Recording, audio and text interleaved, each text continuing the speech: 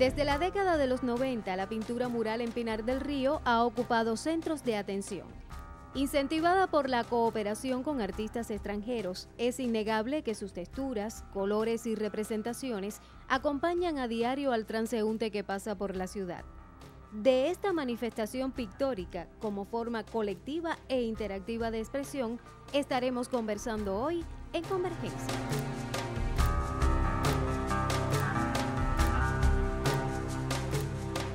Yo pinto, no sé, hace 35 años murales en Alemania, pero también en otros países. Y en 92 hemos empezado con los primeros contactos y con los primeros proyectos con los artistas piñareños. Es un intercambio bueno con los alemanes. Además, hay un grupo de artistas que se reúnen, cuando se reúnen artistas a hacer una obra en conjunto, una fiesta. Desde un comienzo ha sido muy rica la, experiencia de intercambio entre los artistas alemanes y los artistas pinareños. Por, por, muchas razones, no solo en el orden artístico, sino también en el orden de lo que hemos aprendido de las culturas de ambos lugares y de la manera en que nos hemos compenetrado hasta el punto que ya en la actualidad no somos ni amigos, somos familia.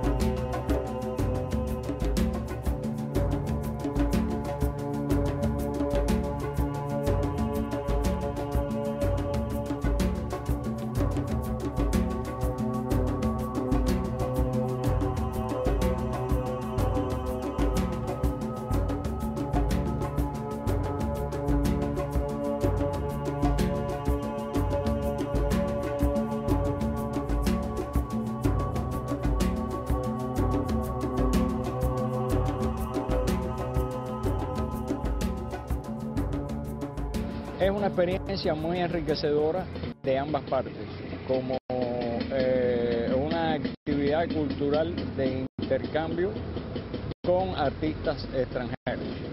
Fue una experiencia maravillosa, realmente no había tenido nunca antes la posibilidad de hacer este tipo de trabajo. La experiencia de los murales es muy diferente a la obra que uno hace cotidianamente. El, el muralismo es un arte público, es para desarrollar un poco también un poquito más la ciudad, eh, hacer la ciudad un poquito más eh, bonita, amable para la gente, pero también arte tiene otros, eh, otras cosas.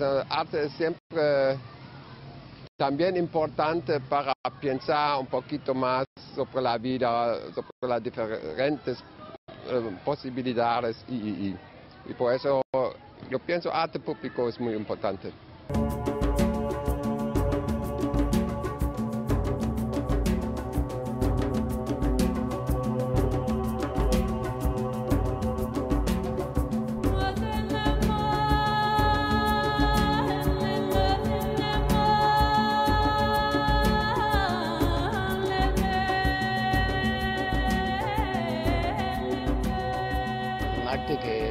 Toda la población de la, de la, ciudad está en contacto con ella. Eso es una gran diferencia con el arte de galería, que es un arte de élite. Y entonces esta es una experiencia totalmente nueva, totalmente diferente. El proceso de los murales es un proceso muy rico, realmente es un proceso muy diferente al proceso que uno hace para su obra íntima, ¿no? Porque uno se enfrenta al lienzo uno mismo y es uno mismo el que discute con nuestra, con nuestra propia mente, ¿no? A veces es un proceso un poco egoísta y este trabajo de los murales eh, un tanto vino a, a, que a, uno aprender a discutir esta, las ideas de, que uno tiene con otras personas, ser tolerante a las, las ideas de otras personas y a, respetar el criterio de que lo que uno hizo tal vez no puede estar bien en ese momento.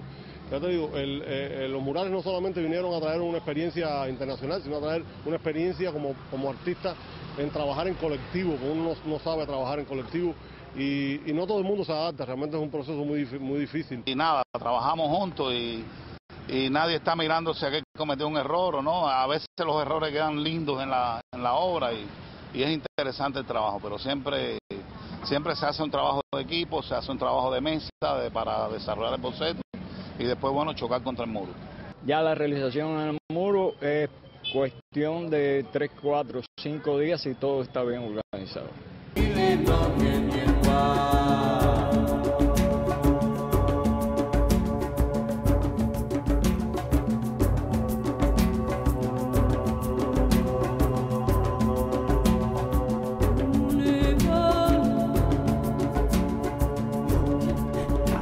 Es un proceso que además no está exento de grandes discusiones, de grandes polémicas, y más cuando al comienzo no nos conocíamos, y había diferentes eh, apreciaciones de la cultura cubana.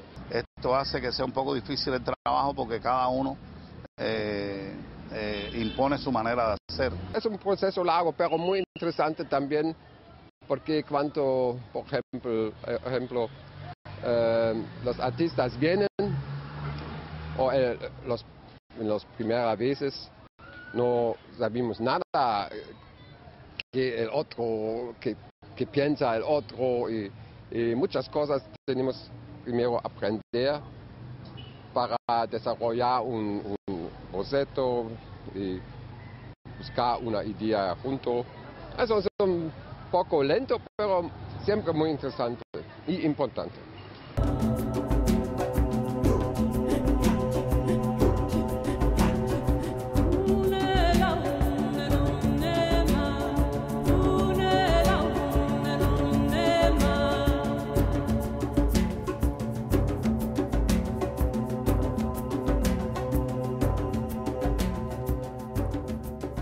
Pensar inclusive desde que tú comienzas la organización del proyecto y ya en la ejecución propia del boceto, en los códigos que se, plásticos que se van a utilizar para poder transmitir los diferentes mensajes, las diferentes ideas que deben llegar a todas las personas.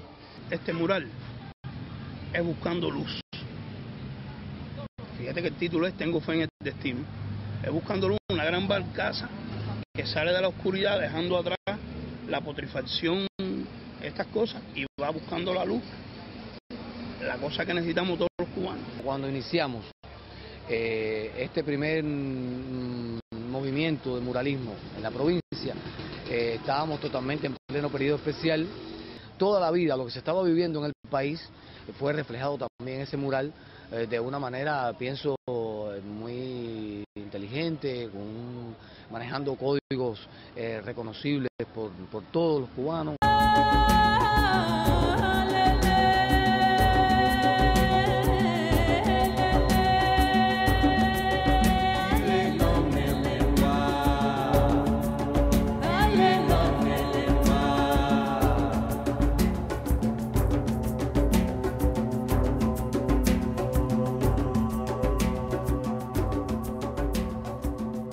Conversamos, le decía Isa, tenemos que convertir a Pinar del Río en la ciudad de los murales.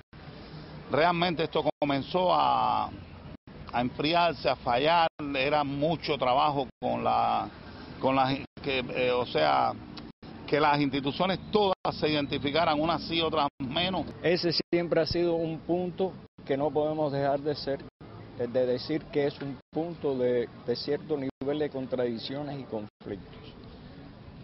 Distamos mucho en este momento de poder decir categóricamente que vamos a ser la ciudad de los murales. Nosotros comenzamos, inclusive primero que otras provincias de Cuba, con este movimiento de muralismo.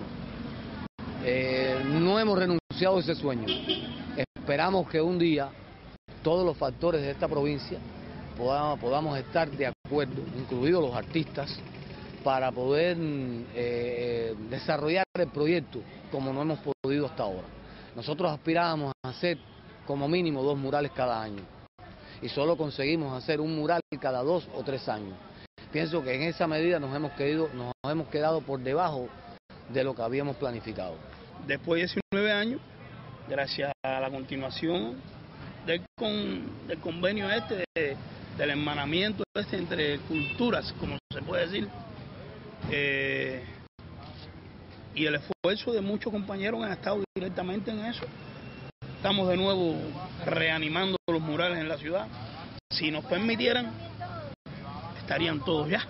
Es un proyecto bien importante que forma parte del patrimonio de la, del patrimonio de la ciudad y que es importante comenzar a rescatarlos poco a poco, porque eh, también eh, los materiales con que se trabajan son extremadamente caros y, y, tiene que ser un proceso poco a poco, paulatino, para poder recuperar todos los murales que, que se hicieron en los años 90 y principios de los 2000, pero además eh, seguir enriqueciendo esto con otros proyectos, con otras paredes que hay en la ciudad y que también pueden ser, se pueden trabajar.